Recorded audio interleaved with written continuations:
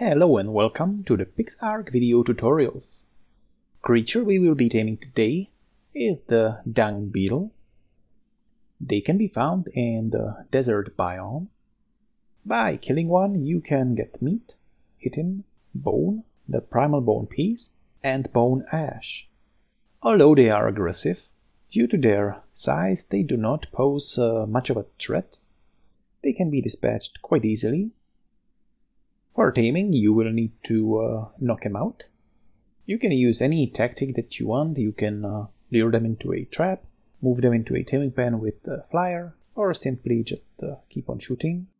Just make sure to keep your tames on uh, passive, else they might accidentally kill the beetle before you manage to tame it. You will need to use the crossbow with uh, sleepy arrows, or you can use uh, long neck rifle with sleepy darts, once the beetle is uh, down, all you have to do is to place some taming food into their inventory.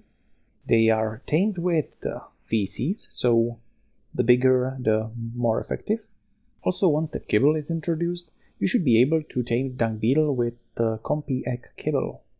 So once they are unconscious and uh, have the feces in their inventory, all that's left for you to do is uh, to wait tamed dung beetle can be picked up and carried in your hands.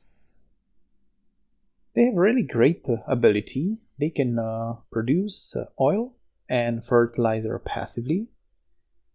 You will need to place feces into their inventory and enable wandering on them. And that's it. Hope you've enjoyed this taming video. Feel free to leave a comment or a like.